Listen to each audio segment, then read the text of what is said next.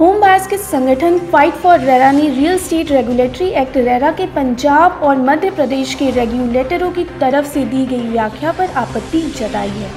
इनमें से एक रेगुलेटर ने हाल ही में इस एक्ट की व्याख्या करते हुए स्पष्ट किया था कि बिल्डर्स पर उनके मौजूदा प्रोजेक्ट्स में देरी के कारण पेनल्टी नहीं लगाई जा सकती, क्योंकि एक्ट में इसकी अनुमति नहीं दी गई है।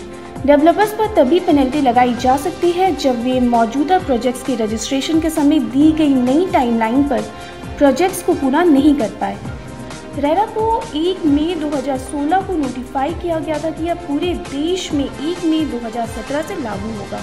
सभी राज्यों को हिदायत दी गई थी कि इस एक्ट के अनुसार अपने रूल्स को तैयार और नोटिफाई करें।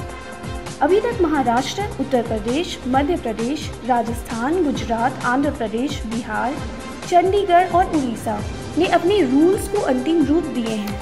केंद्र सरकार ने बिना विधायकों वाले पाँच केंद्र शासित प्रदेशों के लिए फाइनल रूल्स नोटिफाई किए हैं और अन्य राज्यों के लिए मॉडल हो सकता है।